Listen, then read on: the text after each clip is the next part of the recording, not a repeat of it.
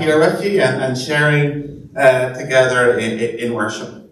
A few things by way of announcements. Uh, tomorrow night, uh, Monday 14th, MWI ladies will meet here at 7.30 p.m. The speaker will be Melissa Newell, uh, speaking on her, her work in, in Ecuador. So that's one uh, not to be missed. Tomorrow night, uh, 7.30 p.m. Uh, this Wednesday, um, there's uh, no Bible study this week due to a meeting elsewhere, but that will resume again the following uh, Wednesday. Um, Friday night at 7.30, as you well know by now, I hope, we're having a very special concert with Seven Towers Male Voice Choir and with uh, supporting artists, Laura Kales, and uh, Joshua and Jeremiah as well. Uh, recommended donation for that is uh, £10. Um, your support would be very much appreciated. It definitely will be a, a wonderful uh, night. Um, help will be needed on Friday afternoon to set up um, the, the hall, stage chairs, etc. from 2pm. So if you can come along uh, Friday at 2pm, that would be greatly appreciated. And then obviously after the concert, to put things away again, so don't, don't rush away. Uh, morning worship next Sunday will be led by Reverend Ken Robinson. Um, next Sunday night, uh, the Navy Church Harvest at 7 p.m. The speaker is the Reverend Ian Ferguson. Everybody's welcome along to, to that service. Uh, the bowling club will resume again on Friday the, the 25th October at, at 3 p.m. 3 p.m. Please note the new time. That's Friday the 25th at 3 p.m. if you're free. I definitely come along to that. Any person interested, um, speak to Charles about that after this morning's service. You'll be greatly, greatly welcome and it's a great time of fellowship and fun for all who come along. Uh, 9th of November, uh, Craigmore are holding an afternoon tea at 2 p.m. If you require, uh, if you'd like tickets, uh, please contact uh, Patty Gilbert uh, from uh, Craigmore. You can speak to me if you want to get in touch with her and you don't know how. So 9th of November, Craigmore holding an afternoon tea at 2 p.m. Turning over the page, there's nothing there.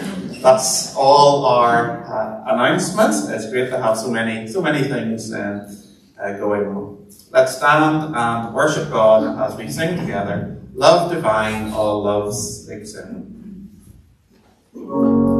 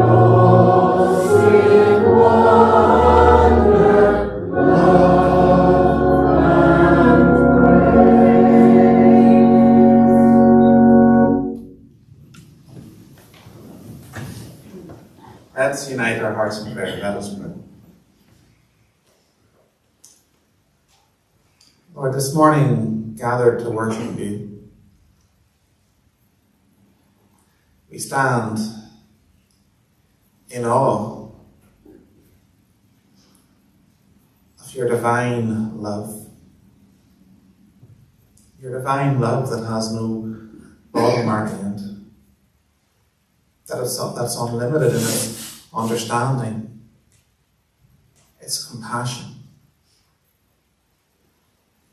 its patience, and its mercy. Lord, how awesome to think that, that through our trust in you, that love is in us as an ever flowing, inexhaustible fountain, as a resource from which we can be channels of your presence and your grace to this world. We thank you that the challenges we face in life, the hard times we go through, that we don't go through them alone. We don't have to rise above adversities by our own strength, by our own resolve. But we do so in, in the way that it's not us, but you living through us. Thank you that the one who is in us is greater than anything we will ever face in this world. Bowed together in your holy presence. We're mindful of the times and ways that we have fallen short of your glory, the, the, the times and the ways we have, we have missed the mark. We confess our sins to you, our Saviour, to you who took our place, assured and humble that, that you have already paid for them info. But you came not to be served, but to serve, to give your life as a ransom for each and every one of us. That though we deserve death and condemnation, that we might have life and eternal acceptance in your presence as your children. What we have, the life we have, the hope we have, the joy we have, the peace we have, we have not merited or earned in any way, but you have freely given it to us. When we came before you and said, God, have mercy on me, a sinner. Thank you that you took our sins, you gave us your righteousness. And in that assurance, we go forth to shine for you in this world knowing that it's not us, but it's you living in and through us. Lord, as we worship you this morning, we ask that through your Holy Spirit, you will meet with us afresh. You will change us evermore into your likeness.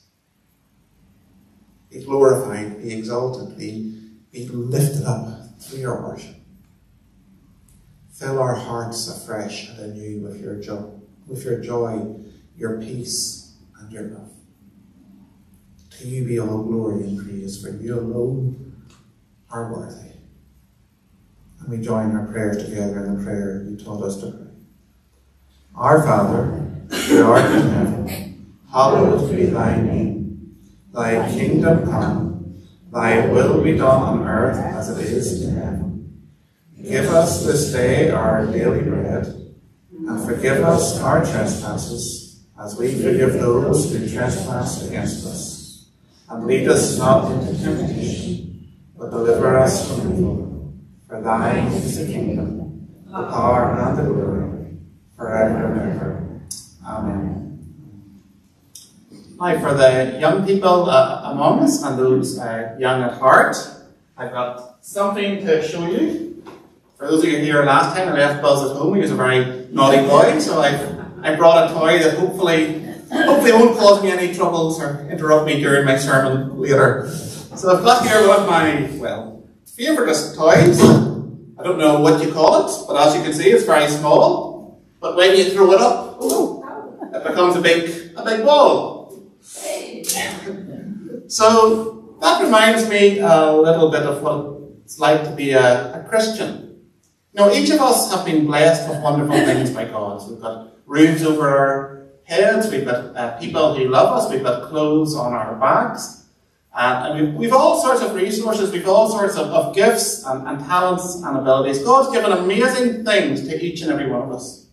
When we keep them all to ourselves and, and use them only to serve ourselves, they remain small.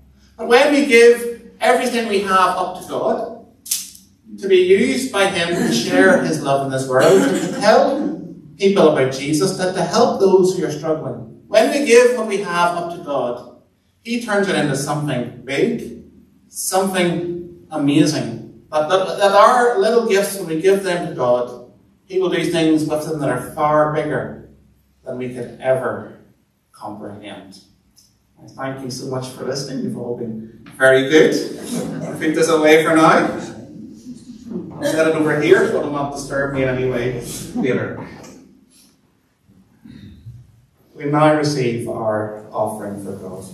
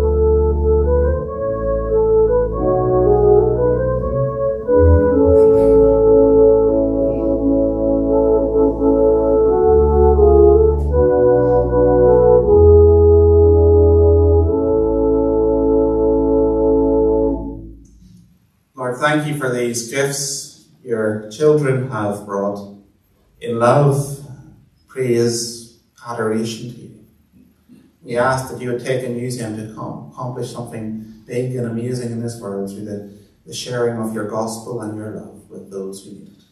In Jesus' name we pray. Amen.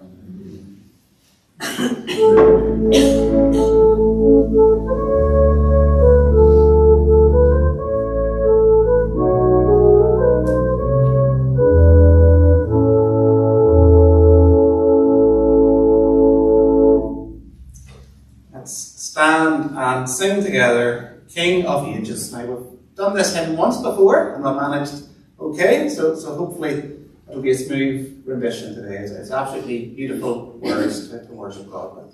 King of Ages, Almighty God.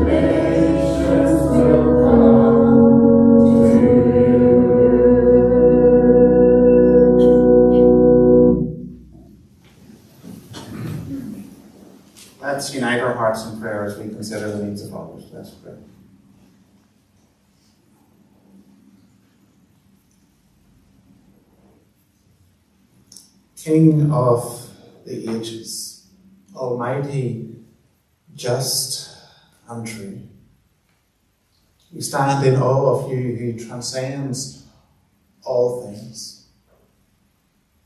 He transcends all things, yet is immanent, near, and personal. To each and every one of us who called upon your name. You are over all, through all, and in all. You are infinite in power, in might, in wisdom, and knowledge. Yet you made a way for each and every one of us to, to personally know and walk with you in relationship with you. And it's through that way, the way of your Son Jesus, with our trust in Him and what He has done for us. That we bow before you now. That we open our hearts to you and pour out to you all that is in them. Lord, we lift before you those in our church family here who are struggling with ill health. Lord, you know what they're going through. You know the challenges, the difficulties, frustrations. We pray for your healing hand. We would pray that you would remove anxieties and, and worries about test results that, that people are waiting for. That each person with their struggles, each person with their ailments would know that they're resting secure in the arms of Him who knows the end from the beginning. For those who, who mourn, struggling to come to terms with bereavements, we pray that you continue to meet them with your comfort. Lord, we thank you for your church family here in this place, for the love these your people have for, for one another and this community, for the way people are made to feel welcome and at home. Lord, may we continue to grow together in your love. And as we seek you, as we cry out to you, as we look to you, May you open our eyes as to how we can share it more and more with, with one another and, and more and more with this, this community, this village. How we can share your, your Son, Jesus, that, that people might come to know him. Lord, we thank you for the opportunities that you have given us, the opportunities you have enabled us to take. And we pray that you would enable us to, to see and to take more and more. For there is much work to be done for the cause of your kingdom in this area. The harvest is plenty, but the labourers are few. Therefore, pray earnestly for the Lord of the harvest to send out more labourers into his harvest. I just thank you for the gifts, the, the graces that each and every one has here. Help us to see how we can continue to use them in, in our daily lives and in the ministry of this church to, to make you known, to, to help those who are struggling and in need. Lord, you have so much you can accomplish through each and every one of us. As we are sensitive to your spirit, as we are sensitive to your leading. Lord, send, send us out into your harvest field to do your work. Assured that, that it's not our sufficiency, it's not our abilities that matter, but it's it's your grace, it's you living through us, that, that nothing is impossible for you to accomplish through any one of us. Lord, we lift before you our world. We think of places where there is increasing tension. We think of places where there is, is war. Lord, in the, the um, Middle East especially and, and Ukraine. Lord, humanly, there doesn't appear to be solutions to these conflicts or, or resolve for them to end. Lord, we, we pray for wisdom, grace, humility for all, all uh, leaders and in, in those areas and, and world leaders who, who have influence. That they would use their, their influence to de-escalate, not further escalate. We pray for a, a, just and fair settlement for, for all who are suffering. We pray for, for Christians in these regions where, where there is wars. We, we thank you for their witness in, in, in patiently enduring injustice and responding to, to evil with good. We pray that your gospel in its power and its glory would, would do what human wisdom cannot do. Lord, looking at some of the struggles and difficulties and uncertainties in our world, Lord, it can be easy to, to lose heart. But we thank you that we are in the hands of Him who knows the end from the beginning. We are in the hands of Him who's accomplishing His good and holy and glorious purposes in all that's unfolding. We thank you that, that the things that are beyond our control, beyond our understanding, that it's not beyond your control and your understanding. We trust ourselves to you. We seek to, to walk with you each and every day, to be instruments of your peace, your grace, your love, and your mercy, wherever we go. Use us as we seek. To you be all glory, honour, and praise. We thank you that you receive from us all that is on our heart. and that you do abundantly above all that we can ask for or imagine. We praise you that as we give you what's on our heart, you give us your peace that surpasses all understanding. To you all glory, honour, and praise. You're a, a, a wonderful Saviour. You're our closest friend. You're the one who never lets us down, the one who understands us, who knows us in a way that no one else does. We thank you that you care for us with infinite love, that you hold us and all that concerns us in your hands. To you be all glory, honour, and praise as we worship you. For you alone are worthy. In Jesus' wonderful name we pray. Amen. Amen. Amen. We turn now to God's Word. This morning we read from Philippians chapter 1, verses 7 to 11. Philippians chapter 1, verses 7 to 11.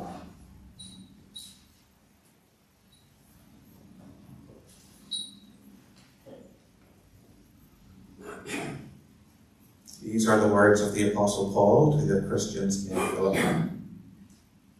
It is right for me to feel this way about all of you, since I have you in my heart. And whether I am in chains or defending and confirming the gospel, all of you share in God's grace with me. God can testify how I long for all of you with the affection of Christ Jesus. And this is my prayer that your love may abound more and more in knowledge and depth of insight, so that you may be able to discern what is best and may be pure and blameless for the day of Christ, filled with the fruit of righteousness that comes through Jesus Christ to the glory and praise of God. We thank God for his word to us. Let's stand and sing together before the throne of God above.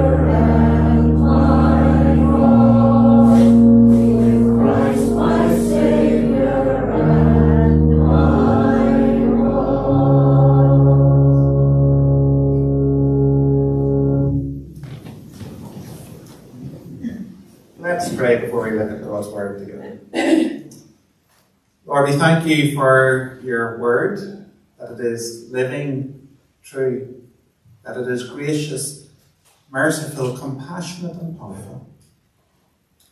Lord, bring our hearts to an understanding of what you would have to say us now, say to us now. Build us up in your faith as we are gathered around your word. In Jesus' name we pray. Amen. Now, the, the following story I shared at an epilogue a few years ago, so most of you are in your bed and didn't, didn't hear it, or sorry, uh, watched night service a few years ago, not an epilogue. So most of you were well and truly in your bed and didn't hear it. But if you did, please indulge me for a minute or two.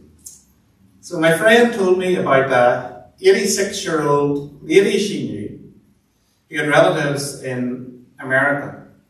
The lady had never spoken to her relatives, nor had she been to America. But she finally decided to go and arranged with them by email that they would pick her up at the airport. When she got to the airport, a man met her and said, Are you waiting for someone to, to pick you up? Yes, she answered. I'm supposed to pick up a, a, a lady with white hair and a blue dress, but I wasn't expecting anyone anywhere near as beautiful as you. Flattered by his comments, she accompanied him and they left the airport together in his car. The man asked, Have you been to America before, Dorothy?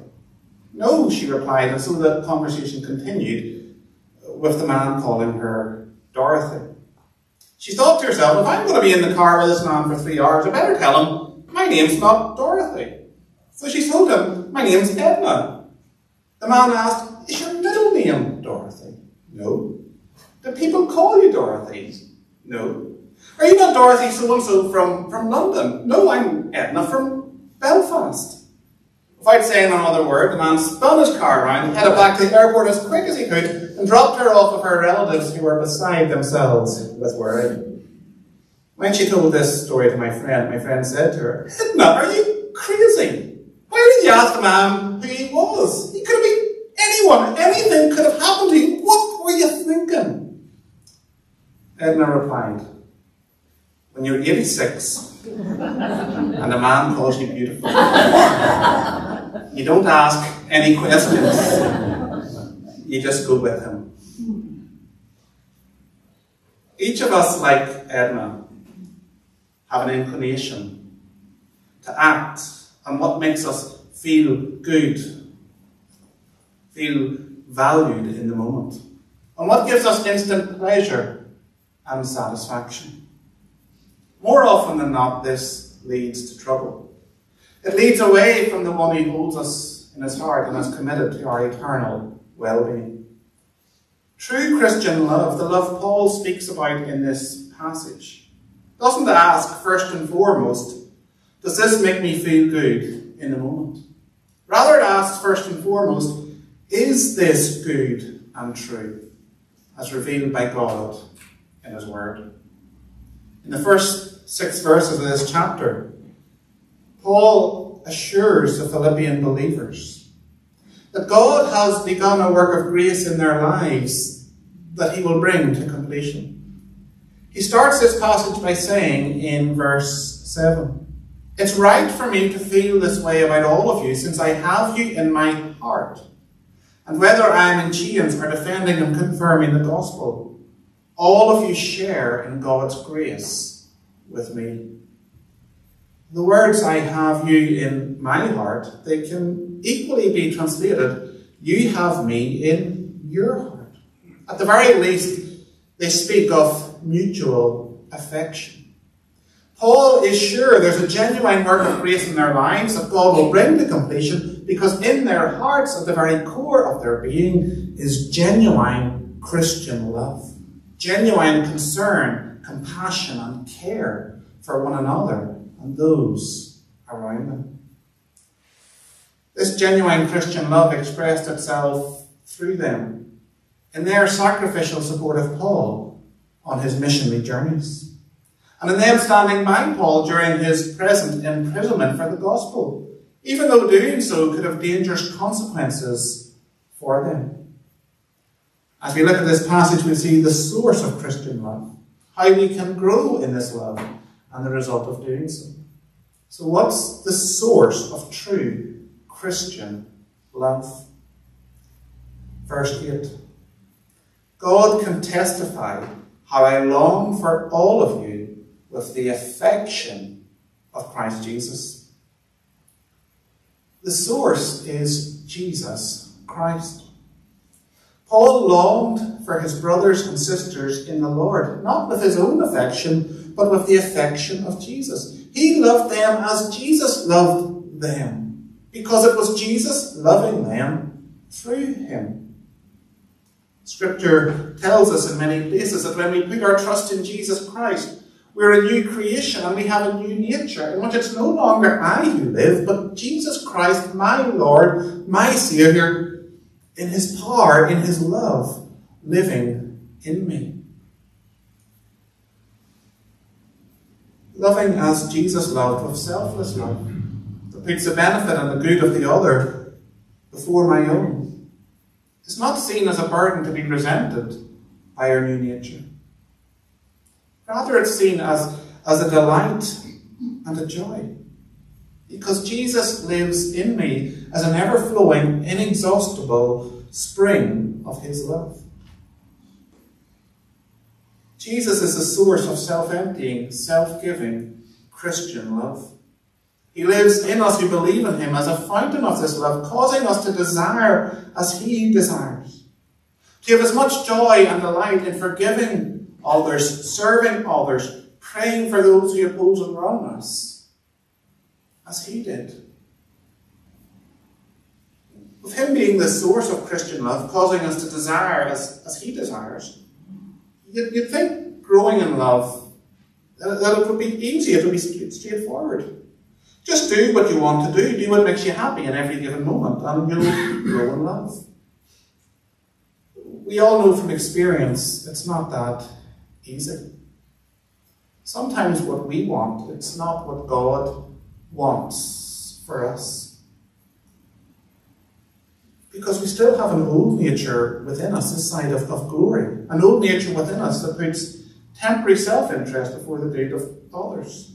That puts our instant satisfaction before the lasting satisfaction of purity and faithfulness and obedience. Thus, if we're to grow in love, the first question we, we must ask before we act is not, does this action make me feel good instantly? But rather, is this action good and true? This approach to, to growing in love in which we use Scripture as our compass, Scripture as our, our plumb line, is what Paul advocates to the Philippians with these words, verse 9 and 10. This is my prayer, that your love may abound more and more in knowledge and depth of insight, so that you may be able to discern what is best and may be pure and blameless for the day of Christ. This is a stark contrast to what our culture advocates. I read an article in a, a Christian magazine a, a, while back. It was about a, a well-known Christian blogger and conference speaker in, in America. After walking out on her husband and, and, and, and embarking on a way of life that was in clear contradiction to the Word of God. She said this to her followers when she was announcing her change in circumstances. The most revolutionary thing a person can do is not explain themselves. My most sacred responsibility is to be so comfortable in my own skin that I become more interested in my own joy and freedom than what others think about me. The greatest gift any of us can give this world is our true self. Let's not look to anyone for permission or feel obligation for explanation. Human beings flourish as they obey their own desires. Her words sum up the change in values that's happened in society that we can sometimes go along with. The change I'm talking about is this. The degree to which our life is worthwhile and fulfilled is no longer measured by the glory we bring to God, by the contribution we make to the health of family and society. It's, it's no longer measured by these external things, but rather the degree to which my life is worthwhile and fulfilled is measured by the instant benefit and satisfaction I bring to myself. God has been displaced. I am on the throne. The love of Christ that wells up within us when we believe in Him stands in contradiction to this great sea change. It seeks knowledge and discernment of God's will. What matters to, to, to this love is, is, is to know how to act uh, uh, according to God's will in, in, in the concrete situations of life. Unlike self-love, it sees beyond whether an action makes us feel good in the moment to whether it will lead to lasting happiness indeed. Unlike self-love, it sees beyond the temporary security that comes from staying within the, the limits of, of my abilities and what I can control to the lasting security that comes from stepping out into that place where we're completely dependent on God. That place where we're obeying the, the promptings of, of, of the Spirit to, to share that word of kindness, that, that word of witness the place where we're dependent on, on, on the Spirit to, to take on the, the, the, the role that He's asking us to take on. Where only He controls the outcome and we have no control of it. Self love that does not seek to grow in the knowledge of God's will, that seeks only instant ease and gratification. This this self-love, it, it can't bring about lasting transformation and healing. Let me illustrate with a few examples. I love my children. They really don't like doing their homework and helping about the house. This is, I'm making this up by the way, it's not true at all. doing their homework and helping about the house, that, that stresses them out. That frazzles their little brains. They're much more relaxed, much more at ease when their heads are buried in their phones playing, uh, playing games, chatting to their friends, social media, whatever else. So the loving thing to do is just to, just to let them do that all the time. I love myself. Burying my head in my work keeps me from having to deal with the breakdown that's happened in my relationship with the chasm that's opened up. So the loving thing to do is to allow myself to keep hiding. Because that's much easier, much more comfortable for me in the moment than facing up to and dealing with what's went wrong. I love my friend. Alcohol numbs his pain. It gets him through the day. So, so the loving thing to do is not to challenge him to address the root of that pain, but rather to affirm him on the path he's on. As a leader in the church, I, I love the congregation I'm part of. Not having to step out beyond what they've done before. Being able to come and go from church without having to open up about their faith, without having to share that faith with others. makes them feel comfortable and secure. So the loving thing to do is not change anything. Or perhaps the loving thing to do is to lead one another, to step out from our temporary false security and comfort into God's eternal security and comfort that we find in the place beyond the limits of our abilities and control, where we have nothing to rely on but Him. In that place alone, following His promptings, being obedient, taking those leaps of faith we grow and flourish together into all He desires us to be. The beginning of growing together in the healing, transforming love of Jesus is His affection within us at the centre of our being through our trust in Him. From this space, walking and talking with our Saviour, relying on His love with Scripture as our plumb line and our compass, we ask, what does acting in accord with God's will look like in this situation I'm in?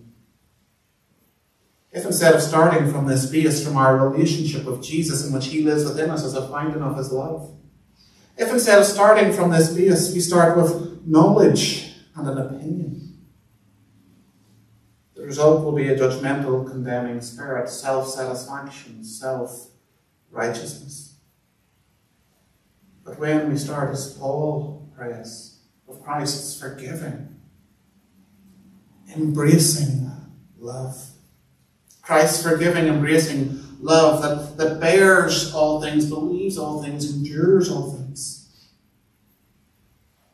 When we start with this love in relationship with people, caring for people in their struggles. And add knowledge and an opinion after we've done that. Then we'll not fail to be instruments of God's healing and transformation. The source of our love as Christians is Jesus Christ. He, our risen, living Saviour, is a spring of divine love welling up within us. This love seeks to know and discern God's will more and more every day. We grow in it by asking first and foremost before we act. Not does this action make me feel good in the moment, but rather is this action eternally good and true? Is this action in accord with what God has revealed in His Word. Finally, what's the result of growing in God's love for us in Christ? The result is that we know more and more what truly matters. And we'll be pure and blameless before God. Growing in God's love for us in Christ, we will be so caught up in sharing the good news of the gospel. So caught up in, in, in, in living out the joy, the peace, the righteousness, the, the wonder of the kingdom. Living out what Christianity is all about. That we won't be sidetracked and waylaid by the lure of material things, by disputes, differences, and clashes. We grow fully into the pure, spotless children of God. We already are in His eyes through our trust in His Son, our righteousness Jesus Christ. Our lives will abound with acts of goodness, kindness, patience, mercy, understanding. Acts empowered and equipped by Jesus Christ living in us. That will bring his healing, transformation, and blessing to others.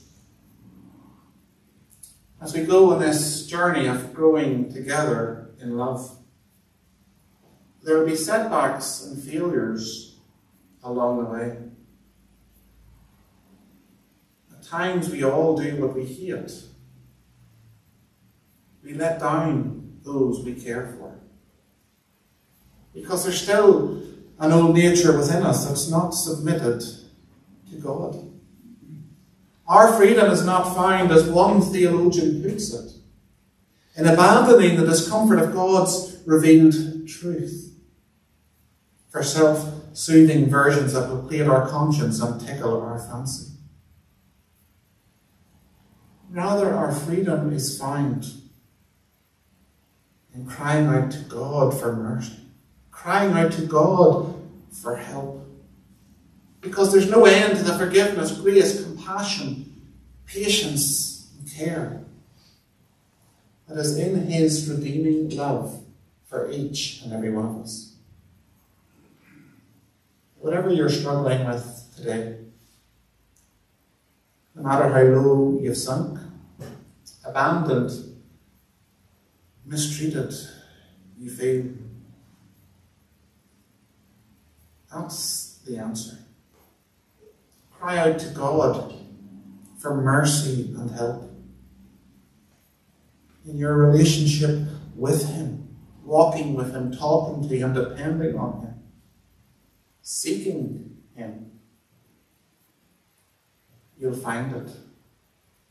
Because His love for you in His Son, Jesus Christ, is without bottom or end. This is my prayer that your love may abound more and more in knowledge and depth of insight, so that you may be able to discern what is best and be pure and blameless for the day of Christ filled with the fruit of righteousness that comes through Jesus Christ to the glory and praise of God. We thank God for his word to us. Amen.